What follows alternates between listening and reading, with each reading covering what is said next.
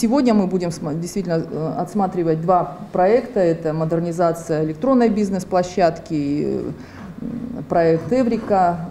Это конкретные, э, конкретные шаги, направленные на развитие экономики и отработки вот этой схемы взаимодействия всех э, значит, сторон нашего партнерства.